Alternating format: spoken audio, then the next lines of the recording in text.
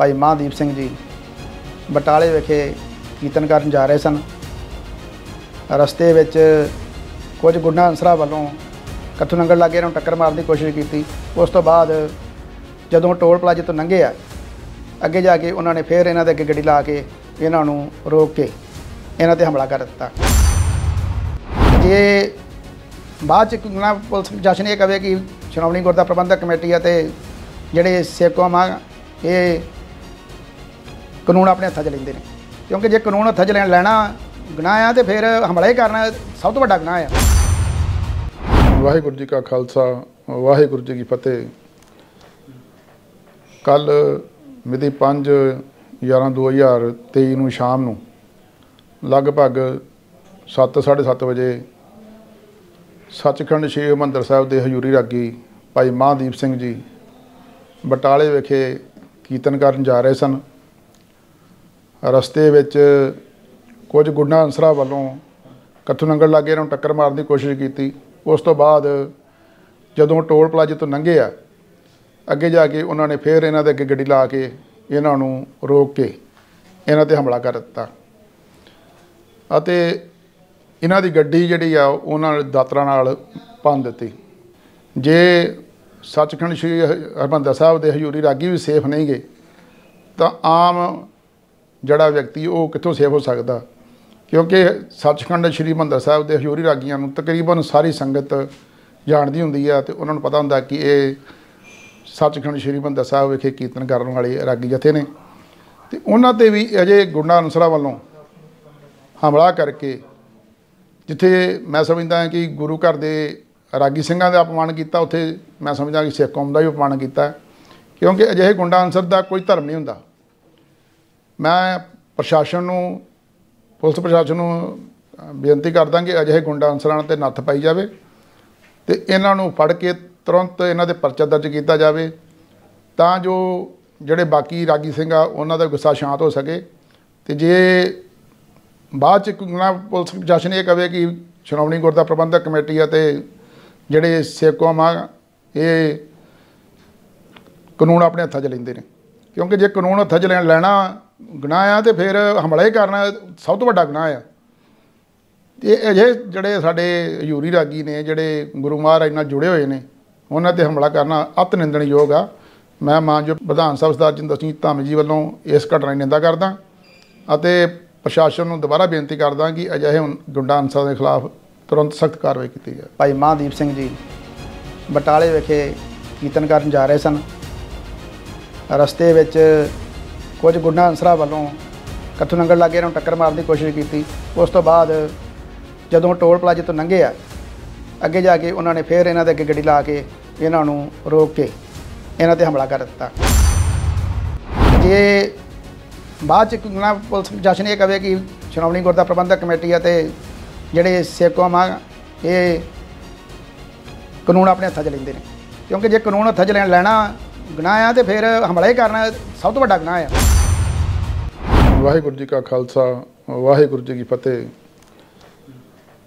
ਕੱਲ ਮਿਤੀ 5 11 2023 ਨੂੰ ਸ਼ਾਮ ਨੂੰ ਲਗਭਗ 7:30 ਵਜੇ ਸੱਚਖੰਡ ਸ੍ਰੀ ਹਰਿਮੰਦਰ ਸਾਹਿਬ ਦੇ ਹਜ਼ੂਰੀ ਰਾਗੀ ਭਾਈ ਮਹਾਦੀਪ ਸਿੰਘ ਜੀ ਬਟਾਲੇ ਵਿਖੇ ਕੀਰਤਨ ਕਰਨ ਜਾ ਰਹੇ ਸਨ। ਰਸਤੇ ਵਿੱਚ ਕੁਝ ਗੁੰਡਾ ਅਨਸਰਾਂ ਵੱਲੋਂ ਕੱਥੂ ਨੰਗਲ ਲਾਗੇ ਇਹਨਾਂ ਨੂੰ ਟੱਕਰ ਮਾਰਨ ਦੀ ਕੋਸ਼ਿਸ਼ ਕੀਤੀ। ਉਸ ਤੋਂ ਬਾਅਦ ਜਦੋਂ ਟੋਲ ਪਲਾਜ਼ੇ ਤੋਂ ਲੰਘੇ ਆ, ਅੱਗੇ ਜਾ ਕੇ ਉਹਨਾਂ ਨੇ ਫੇਰ ਇਹਨਾਂ ਦੇ ਅੱਗੇ ਗੱਡੀ ਲਾ ਕੇ ਇਹਨਾਂ ਨੂੰ ਰੋਕ ਕੇ ਇਹਨਾਂ ਤੇ ਹਮਲਾ ਕਰ ਦਿੱਤਾ। ਅਤੇ ਇਹਨਾਂ ਦੀ ਗੱਡੀ ਜਿਹੜੀ ਆ, ਉਹਨਾਂ ਨੇ ਦਾਤਰਾਂ ਨਾਲ ਭੰਨ ਦਿੱਤੀ। ਜੇ ਸੱਚਖੰਡ ਸ੍ਰੀ ਹ- ਹਰਿਮੰਦਰ ਸਾਹਿਬ ਦੇ ਹਜ਼ੂਰੀ ਰਾਗੀ ਵੀ ਸੇਫ ਨਹੀਂ ਗਏ ਤਾਂ ਆਮ ਜਿਹੜਾ ਵਿਅਕਤੀ ਉਹ ਕਿੱਥੋਂ ਸੇਫ ਹੋ ਸਕਦਾ?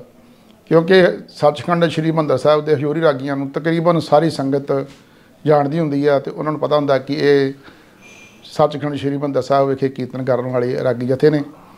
ਤੇ ਉਹਨਾਂ ਤੇ ਵੀ ਅਜੇ ਗੁੰਡਾ ਅਨਸਰਾਂ ਵੱਲੋਂ ਹਮਲਾ ਕਰਕੇ ਜਿੱਥੇ ਮੈਂ ਸਮਝਦਾ ਹਾਂ ਕਿ ਗੁਰੂ ਘਰ ਦੇ ਰਾਗੀ ਸਿੰਘਾਂ ਦਾ ਅਪਮਾਨ ਕੀਤਾ, ਉੱਥੇ ਮੈਂ ਸਮਝਦਾ ਕਿ ਸਿੱਖ ਕੌਮ ਦਾ ਵੀ ਅਪਮਾਨ ਕੀਤਾ। ਕਿਉਂਕਿ ਅਜਿਹੇ ਗੁੰਡਾ ਅਨਸਰ ਦਾ ਕੋਈ ਧਰਮ ਨਹੀਂ ਹੁੰਦਾ। ਮੈਂ ਪ੍ਰਸ਼ਾਸਨ ਨੂੰ ਪੁਲਿਸ ਪ੍ਰਸ਼ਾਸਨ ਨੂੰ ਬੇਨਤੀ ਕਰਦਾ ਕਿ ਅਜਿਹੇ ਗੁੰਡਾ ਅਨਸਰਾਂ ਤੇ ਨੱਥ ਪਾਈ ਜਾਵੇ ਤੇ ਇਹਨਾਂ ਨੂੰ ਫੜ ਕੇ ਤੁਰੰਤ ਇਹਨਾਂ ਦੇ ਪਰਚਾ ਦਰਜ ਕੀਤਾ ਜਾਵੇ ਤਾਂ ਜੋ ਜਿਹੜੇ ਬਾਕੀ ਰਾਗੀ ਸਿੰਘ ਆ, ਉਹਨਾਂ ਦਾ ਗੁੱਸਾ ਸ਼ਾਂਤ ਹੋ ਸਕੇ ਤੇ ਜੇ ਬਾਅਦ ਚ ਕੋਈ ਪੁਲਿਸ ਪ੍ਰਸ਼ਾਸਨ ਇਹ ਕਵੇ ਕਿ ਸ਼੍ਰੋਮਣੀ ਗੁਰਦਾ ਪ੍ਰਬੰਧਕ ਕਮੇਟੀ ਆ ਤੇ ਜਿਹੜੇ ਸੇਕੋਮ ਆ, ਇਹ ਕਾਨੂੰਨ ਆਪਣੇ ਹੱਥਾਂ 'ਚ ਲੈਂਦੇ ਨੇ।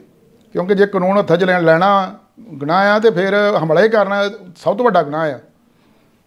ਤੇ ਅਜੇ ਜਿਹੜੇ ਸਾਡੇ ਹਯੂਰੀ ਰਾਗੀ ਨੇ, ਜਿਹੜੇ ਗੁਰੂ ਮਹਾਰਾਜ ਨਾਲ ਜੁੜੇ ਹੋਏ ਨੇ, ਉਹਨਾਂ ਤੇ ਹਮਲਾ ਕਰਨਾ ਅਤ ਨਿੰਦਣਯੋਗ ਆ। ਮੈਂ ਮਾਨਯੋਗ ਪ੍ਰਧਾਨ ਸਾਹਿਬ ਸਰਦਾਰ ਜਿੰਦਰ ਸਿੰਘ ਧਾਮੀ ਜੀ ਵੱਲੋਂ ਇਸ ਘਟਨਾ ਦੀ ਨਿੰਦਾ ਕਰਦਾ ਅਤੇ ਪ੍ਰਸ਼ਾਸਨ ਨੂੰ ਦੁਬਾਰਾ ਬੇਨਤੀ ਕਰਦਾ ਕਿ ਅਜਿਹੇ ਗੁੰਡਾ ਅਨਸਰਾਂ ਦੇ ਖਿਲਾਫ ਤੁਰੰਤ ਸਖਤ ਕਾਰਵਾਈ ਕੀਤੀ ਜਾਵੇ। ਭਾਈ ਮਹਾਦੀਪ ਸਿੰਘ ਜੀ ਬਟਾਲੇ ਵਿਖੇ ਕੀਰਤਨ ਕਰਨ ਜਾ ਰਹੇ ਸਨ। ਰਸਤੇ ਵਿੱਚ ਕੁਝ ਗੁੰਡਾ ਅੰਸਰਾ ਵੱਲੋਂ ਕੱਥੂ ਨੰਗਲ ਲਾਗੇ ਇਹਨਾਂ ਨੂੰ ਟੱਕਰ ਮਾਰਨ ਦੀ ਕੋਸ਼ਿਸ਼ ਕੀਤੀ। ਉਸ ਤੋਂ ਬਾਅਦ ਜਦੋਂ ਟੋਲ ਪਲਾਜ਼ੇ ਤੋਂ ਲੰਘੇ ਆ, ਅੱਗੇ ਜਾ ਕੇ ਉਹਨਾਂ ਨੇ ਫੇਰ ਇਹਨਾਂ ਦੇ ਅੱਗੇ ਗੱਡੀ ਲਾ ਕੇ ਇਹਨਾਂ ਨੂੰ ਰੋਕ ਕੇ ਇਹਨਾਂ ਤੇ ਹਮਲਾ ਕਰ ਦਿੱਤਾ। ਜੇ ਬਾਅਦ ਚ ਕੋਈ ਨਾ ਪੁਲਿਸ ਪ੍ਰਸ਼ਾਸਨ ਇਹ ਕਵੇ ਕਿ ਸ਼੍ਰੋਮਣੀ ਗੁਰਦਾ ਪ੍ਰਬੰਧਕ ਕਮੇਟੀ ਆ ਤੇ ਜਿਹੜੇ ਸੇਕੋਮ ਆ, ਇਹ ਕਾਨੂੰਨ ਆਪਣੇ ਹੱਥਾਂ 'ਚ ਲੈਂਦੇ ਨੇ। ਕਿਉਂਕਿ ਜੇ ਕਾਨੂੰਨ ਹੱਥਾਂ 'ਚ ਲੈਣ ਲੈਣਾ ਗੁਨਾਹ ਆ ਤੇ ਫਿਰ ਹਮਲਾ ਹੀ ਕਰਨਾ ਸਭ ਤੋਂ ਵੱਡਾ ਗੁਨਾਹ ਆ। ਵਾਹਿਗੁਰੂ ਜੀ ਕਾ ਖਾਲਸਾ, ਵਾਹਿਗੁਰੂ ਜੀ ਕੀ ਫਤਿਹ।